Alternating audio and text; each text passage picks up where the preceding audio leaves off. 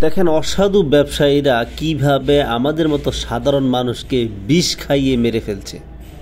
সামান্য একটা পোলার চাউলের মধ্য পর্যন্ত এরা বিষাক্ত কেমিক্যাল ব্যবহার করতেছে, আর সেই চাউলটা আমরা বছরের পর বছর কিনে খাচ্ছি, আর বিভিন্ন প্রকার রোগে আক্রান্ত হচ্ছি। সেজন্যই তো এখন অল্প বয়সে স্ট্রোক হচ্ছে। অল্প বয়সে স্ট্রোক হচ্ছে কি জন্য? দেখেন চাউলের উপর প্রকাশ্যে বিষাক্ত কেমিক্যাল মিশানো হচ্ছে। এবং সেটাকে পোলার চাউল বলে চালিয়ে দেওয়া হচ্ছে বাজারে।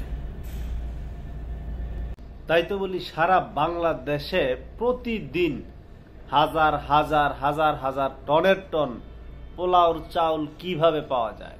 আপনারা স্পষ্ট ভিডিওতে দেখেছেন যে অসাধু ব্যবসায়ী যারা আছে, অসাধু যারা চাউল বিক্রি করে, দেখেন ভ্যানে এই লোকটির হাতে ছিল এক প্রকার সেন্ট। সেই সেন্ট চাউলের উপর মারা, মাইরা দিল।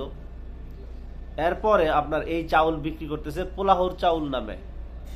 দেখবেন এই চাউল থেকে আলাদা ধরনের একটা স্মেল বের হয়, একটা গ্রান বের হয়। পোলাওর চাউলের যে গ্রান হয় অরিজিনাল সেই গ্রানটা বের হয়। তাছাড়া আপনি সারা বছর কীভাবে পোলাওর পোলাওর চাউল ব্যাপক পরিমাণে বস্তার বস্তা বিক্রি হয়, কীভাবে ট্রাকের ট্রাক পোলাওর চাউল আসে, কোথা থেকে আসে? আপনার এলাকায় আপনি খবর নিয়ে দেখেন। গ্রাম অঞ্চলে প্রত্যেকটা বড় বড় মাঠ আছে, যে সমস্ত জায়গায় পতিত জমিতে ধান চাষ করা হয়। যে ধানগুলো চাষ করা হয়, তার শতকরা এক পার্সেন্ট মাত্র কালিজিরা চাষ করা হয়। এক পার্সেন্টেরও কম। হাজারে এক পার্সেন্টও আপনার একশো একর জমির ভিতরে, আধা একর জমিতেও কালো জিরা ধান চাষ করে না বা আপনার পোলাওর ধান চাষ করে না। তাহলে এত ব্যাপক পরিমাণে পোলাহর চাউল আসে কোথা থেকে? এই হচ্ছে অসাধু ব্যবসায়ী যে এরা সেট ব্যবহার করা হয় এই চাউলটার মধ্যে, ঠিক আছে? এরপরে এটা থেকে পুরা বছর এমনকি মাসের পর মাস এটার মধ্যে আপনার ওই পোলাওর চাউলের একটা গ্রান করবে, ঠিক আছে? আসলে কিন্তু এটা পোলাওর চাউল না। এটা ছোট এক প্রকার চাউল। এই চাউলটার মধ্যেই মূলত এই সেন্টটা ব্যবহার করা। এটা হচ্ছে অসাধু ব্যবসায়ী চক্র। কি বলবেন এদের ব্যাপারে? এরা মানুষকে বিষ খাওয়াচ্ছে।